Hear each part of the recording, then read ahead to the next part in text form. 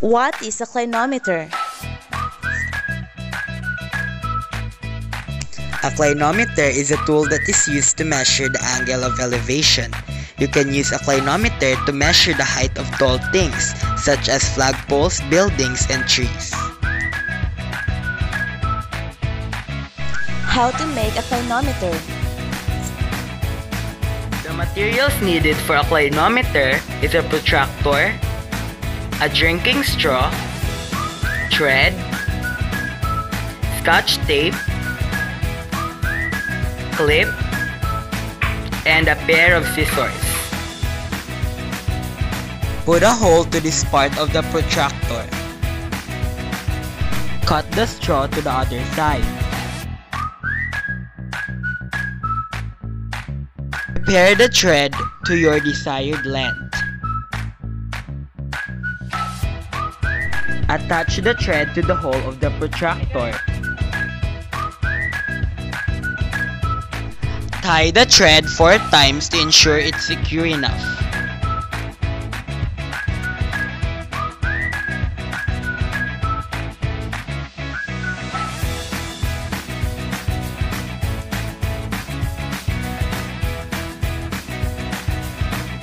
To the other end of the thread, tie the clip.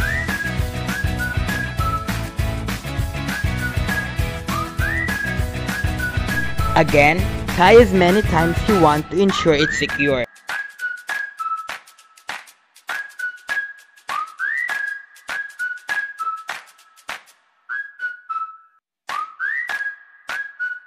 And now, attach the drinking straw to the protractor.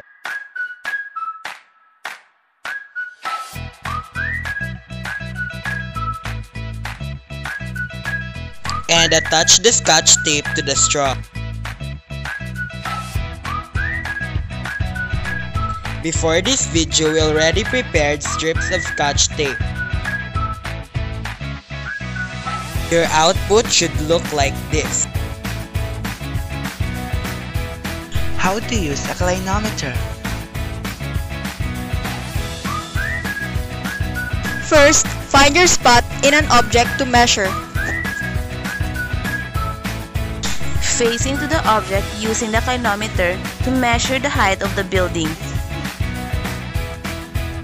With the help of your members, they will list down all the measurements.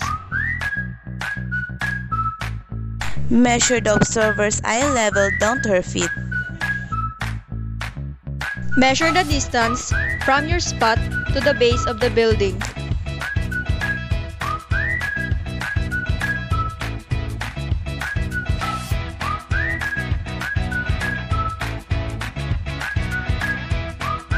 This is the exact illustration. This is the hypotenuse, this is the adjacent side, and this is our observer. We denote x as the partial height of the building.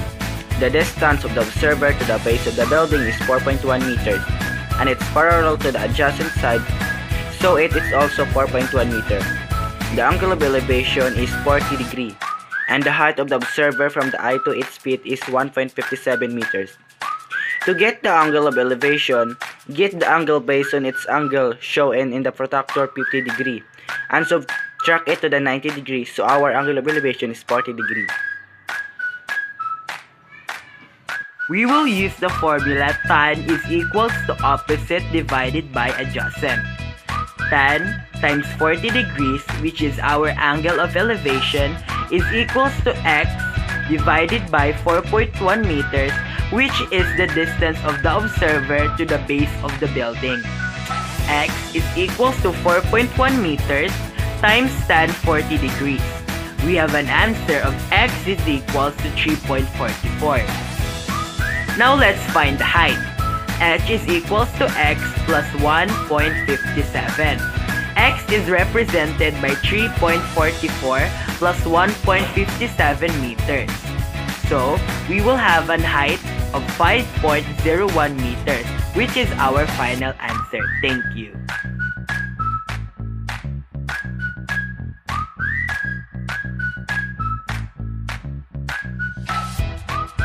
Thank you for watching! Like us on Facebook! ano na i-off. Bye!